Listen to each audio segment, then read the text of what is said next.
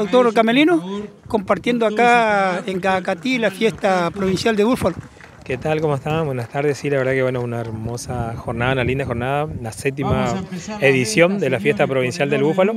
Y esta vez acompañando como, como docente, que tengo mis alumnos acá en la Tecnicatura de Gestión Agropecuaria en Loreto, Loma de Vallejo y Verón de Estrada. Y bueno, los chicos vinieron a compartir un poco lo que es esta jornada a interiorizarse lo que es la producción bubalina y estuvieron participando de, la, de las charlas de capacitación que hubieron.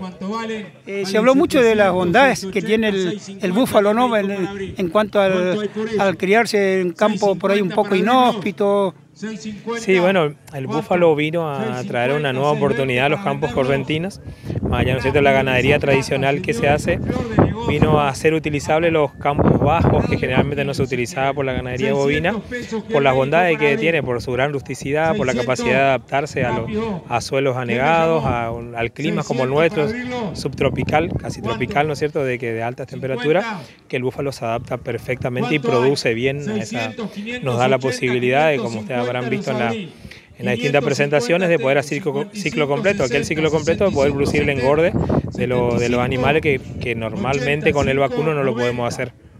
Bueno, ahora resta el, el, remate de búfalo.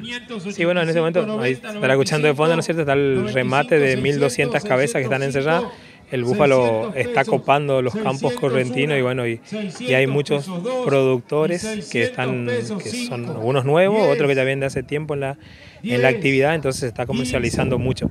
Y la gente también empieza a demandar de una carne que de muy buena calidad, muy aceptable, con buenas características organolépticas. Organoléptica hablamos del, del sabor, del color de la, de la carne y que y sobre todo rica y, y tierna. Gracias, doctor. Si quiere agregar algo más. No, bueno, eh, sobre todo por ahí de felicitar a la, a la Asociación de Criadores de Búfalo por esta actividad, al municipio de, de Cacatí por organizar este, este evento y que nos da la posibilidad a los que estamos en el medio de, por, en nuestro caso, traer a los alumnos para que puedan ver y saber cómo es la comercialización del búfalo y poder eh, encontrarse y compartir con productores, gente profesionales, instituciones como el INTA, la Facultad Veterinaria, otras instituciones que participan de, esta, de este tipo de actividades.